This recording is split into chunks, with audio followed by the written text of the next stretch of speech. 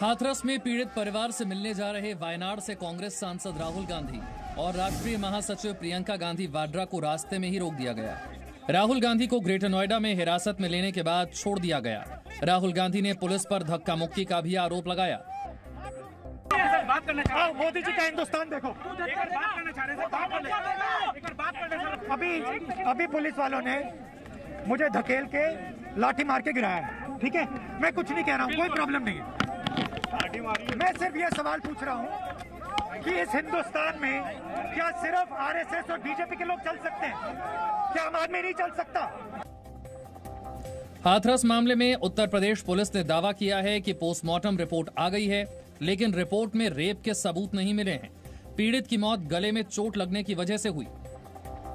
जो दिल्ली के PM report में जो मृत्यु का कारण आया है, वो गले में चोट होने के कारण और उसके दौरान जो ट्रॉमा होता है, उसके कारण आना बताया गया है।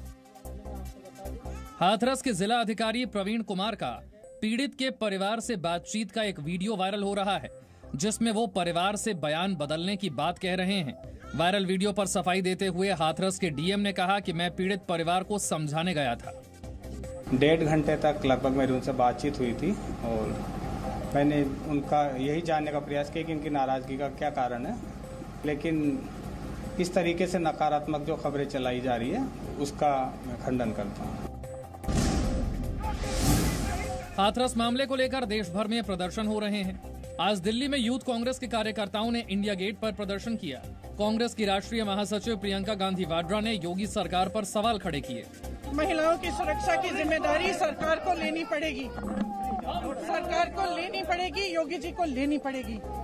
जिस तरह से महिलाओं के साथ अत्याचार हो रहे हैं प्रदेश में वे बिल्कुल बंद करवाने चाहिए और उनके जो अपराधी हैं, उनके खिलाफ सख्त से सख्त कार्रवाई होनी चाहिए। बीजेपी की तरफ़ से केंद्रीय मंत्री मुख्तार अब्बास नकवी ने कांग्रेस को घेरा। नकवी ने कहा, कांग्रेस अजमेर पर चुप है, लेकिन हाथरस पर बेवजह सियासत कर रही है।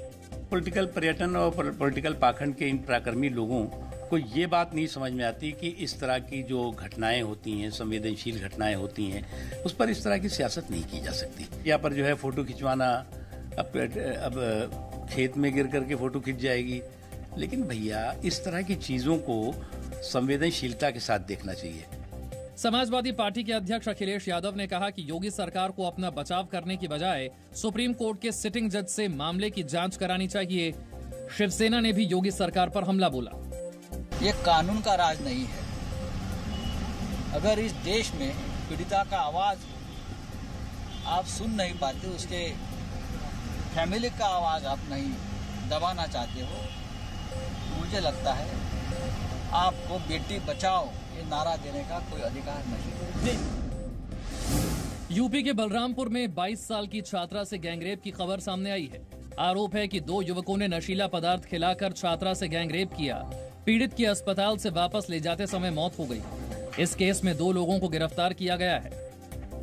जो नामजद अभियुक्त हैं इनको गिरफ़्तार कर लिया है। और पुलिस इसमें आगे छानबीन करके जो भी दोषी पाए जाएँगे, उनको गिरफ़्तार करेगी और इनके खिलाफ कठोर से कठोर हम लोग कार्रवाई करेंगे। मध्य प्रदेश के खरगोन में भी गैंगरेप की वारदात हुई। आरोप है कि खेत की रखवाली कर रही युवती के पास कुछ लोग पानी पीने के बहाने आए और उसके साथ गैंगरेप किया। राजस्थान के अजमेर में एक महिला के साथ गैंगरेप का मामला सामने आया है। पीड़ित की शिकायत पर पुलिस ने केस दर्ज कर लिया है और आरोपियों की तलाश कर रही है। बिहार विधानसभा चुनाव के पहले चरण की अधिसूचना आज जारी हो गई। पहले चरण में इकहत्तर विधानसभा सीटों पर 28 अक्टूबर को वोट डाले जाएँगे। बिहार की कुल 243 सीटों पर तीन चरणों में वोट डाले जाएँगे। एनडीए में सीटों के बंटवारे को लेकर अभी पेज फंसा हुआ है। लोक जनशक्ति पार्टी के अध्यक्ष चिराग पासवान ने आज बीजेपी अध्यक्ष जेपी नड्डा और गृह मंत्री अमित शाह से मुलाकात की। तीनों नेताओं की बैठक में सीट बंटवारे पर एक घंटे तक चर्चा हुई, लेकिन कोई फैसला नहीं हो पाया।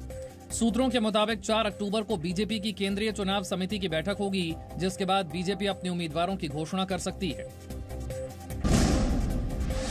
भारत ने बाबरी ढांचा विध्वंस मामले पर पाकिस्तान के दिए बयान पर उसे घेरा है।